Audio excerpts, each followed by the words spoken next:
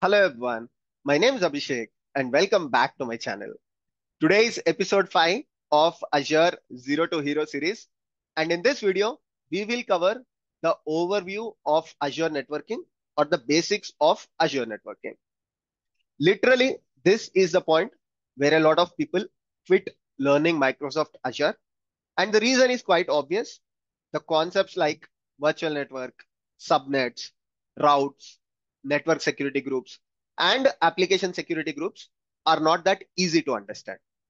So what I'm going to do in today's video is I will explain these concepts by correlating them to real world use cases so that you will never forget these concepts. So please watch this video till the end. Now, before I start with explaining the day five, let me quickly tell you, this is a GitHub repository that I'm going to maintain throughout this series day-wise notes is available in this GitHub repository. And you can also find the course syllabus right from day one to day 25. So please start this GitHub repository so that you get the continuous updates.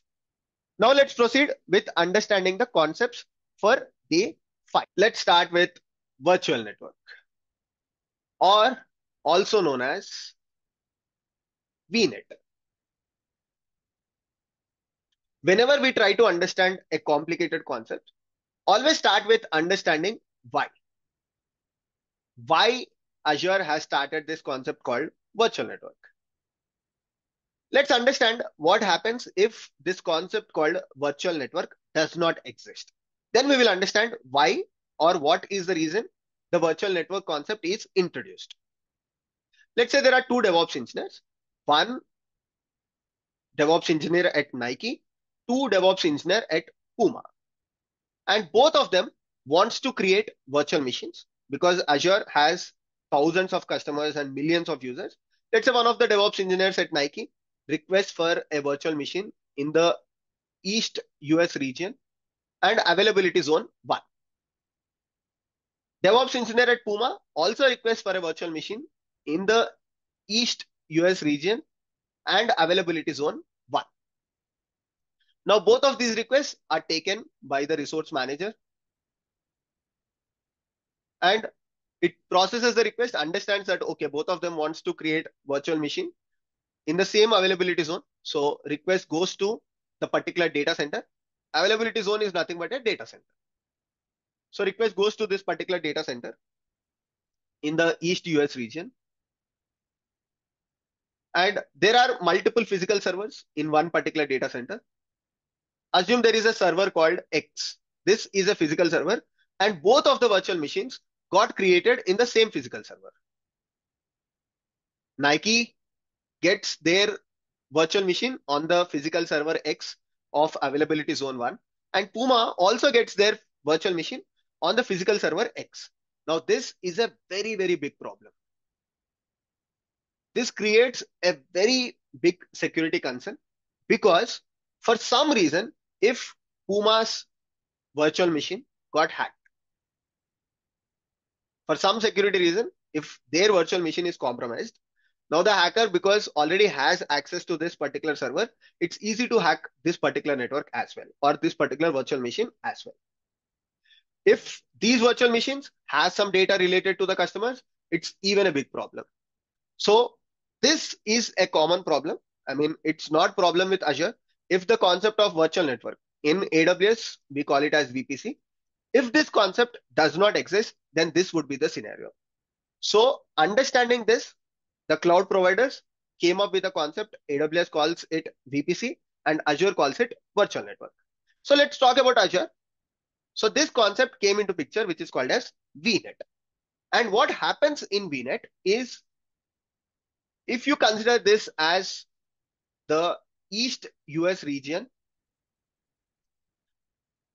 And there can be multiple availability zones, right? Zone one, zone two, and zone three, let's assume. Now, what customers can do is Nike can request for a virtual network within the public cloud. So what Azure does is within this particular availability zones, Azure can create a virtual network, right? This is their entire networking. Within this, Azure can create a virtual network for Nike if DevOps engineer at Nike requests for a virtual virtual network, so what Azure says is, okay, this is the virtual network that we have restricted for you. And now if Puma requests for a virtual machine, it cannot be created in this particular network because Nike has already restricted it or Nike has already blocked it.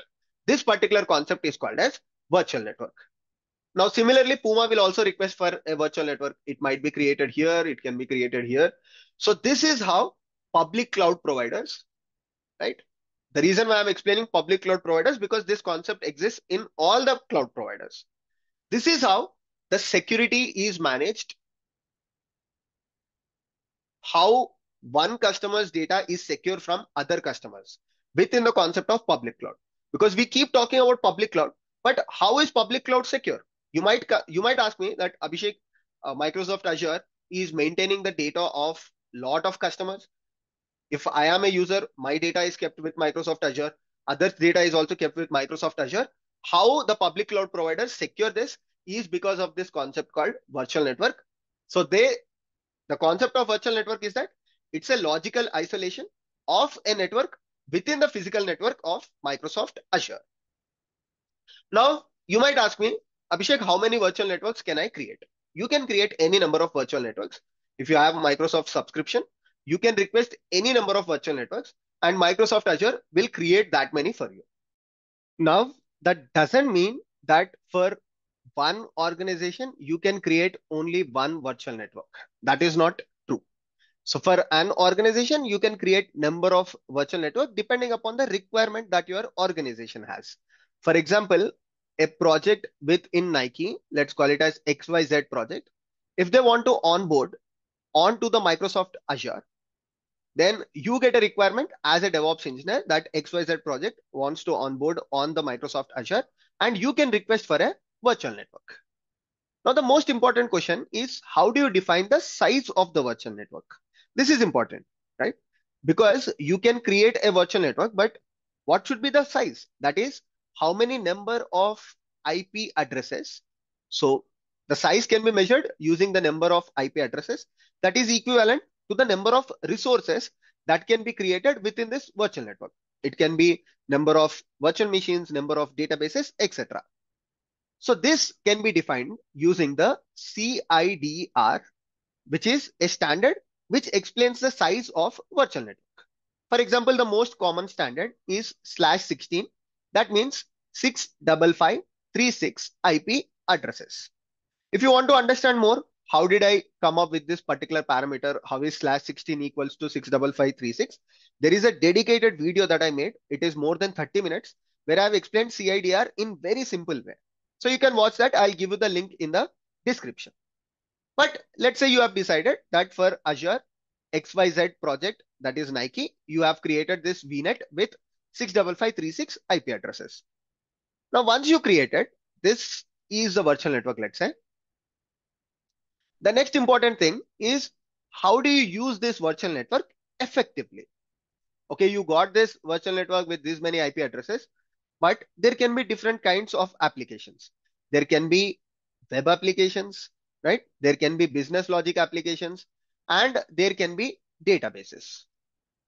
If you understand carefully, Web applications can be accessed from the internet. There is no problem. Whereas the business logic applications and databases for sure should not be accessed from the internet. And if you are talking about protocols like SSH, right?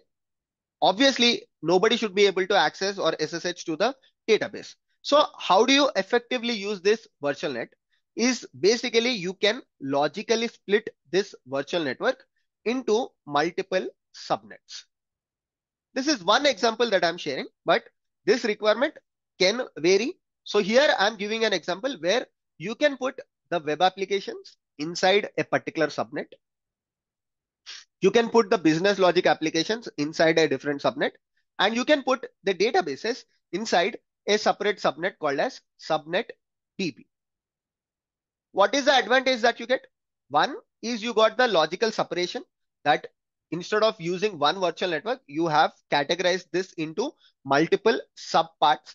And on each subpart, you can apply your security groups. Or you can apply your security. What kind of security? You might ask me. One basic example is nobody should be able to SSH to the databases. Nobody from the internet should have access to the databases. Whereas people from the internet might have access to the web applications, which is quite possible. Today, you can access the website or the web application, the static page of any website that is hosted on the internet, but you will not be able to access their internet. But these applications, like when you hit their web application, the request goes to their business logic and business logic will hit their database. So in a nutshell, the databases should not be accessed from the internet, right? But databases can be accessed by the business logic applications. So this is one particular criteria where you can define this as a security rule on the database that you have created for the subnet. And for this particular subnet where you have bunch of virtual machines, you might have different security configuration. For this web applications that you have created, you might have a different security configuration. That's why creating subnets is very important. And when you create these subnets, during the creation of subnet, again, you can mention the CIDR. So CIDR is very important.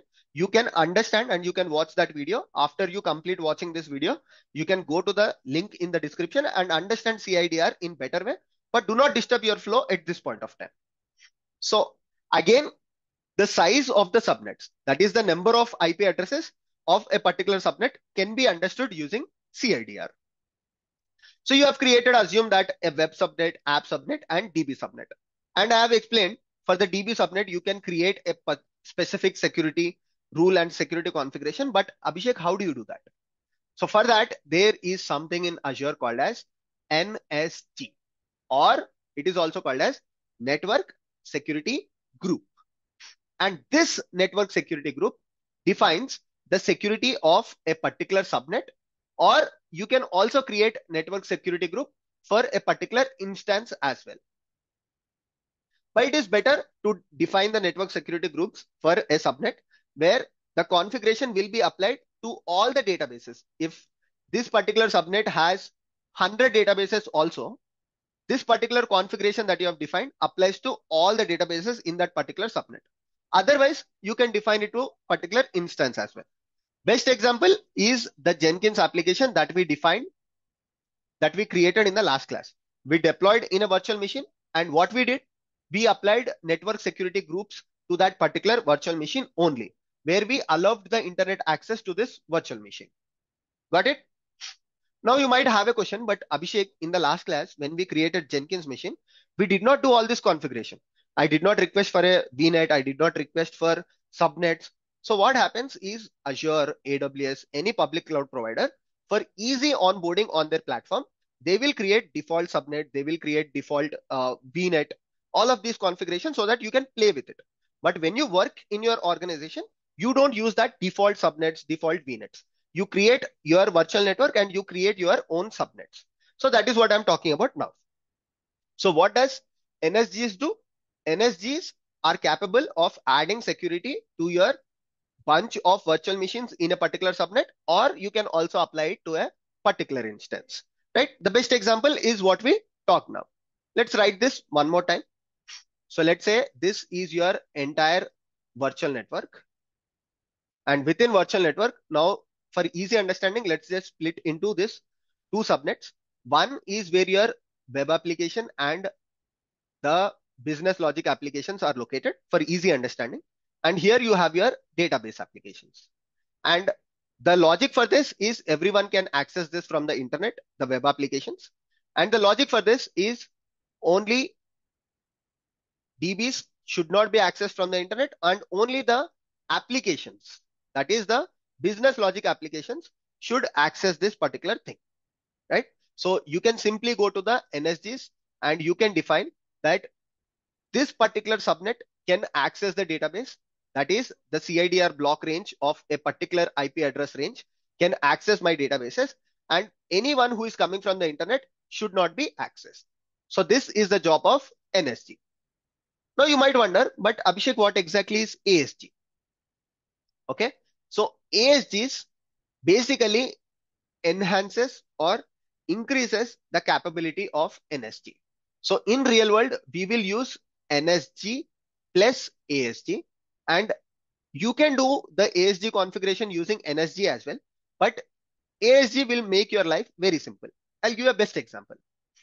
Now using NSG, if you define that the CIDR block range, let's assume this subnet has a CIDR block range of 10.0.3.0 slash 16 and this particular thing or 3.0. slash 24 and if you want to say that all the instances can access the database, then what you can simply do is you can go to the network security group.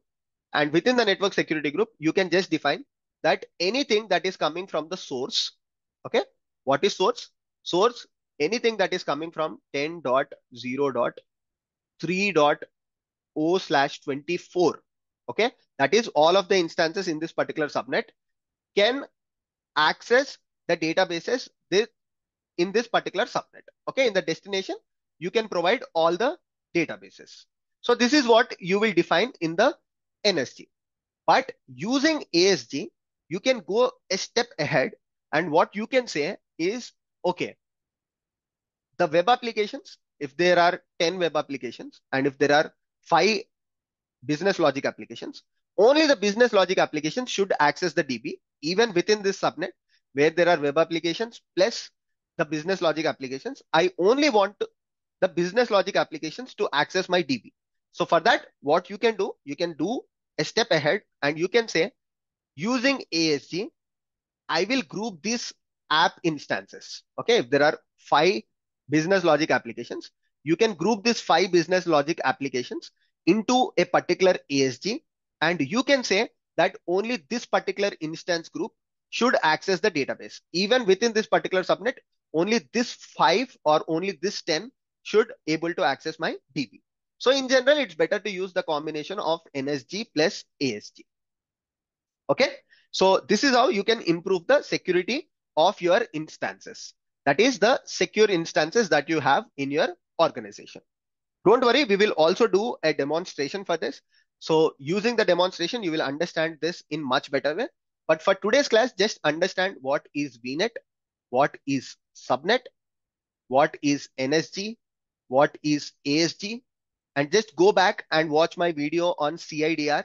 I'll put the link in description so that you can also understand this concept, which is very important. Finally, just understand what is route table and user defined routes. Very simple. Route table and user defined routes just explains how should traffic flow within a particular subnet. It is just like providing the directions within a public subnet. If someone wants to access this database within a subnet, how the traffic should flow within this subnet and reach particular database. And I will discuss this much detail.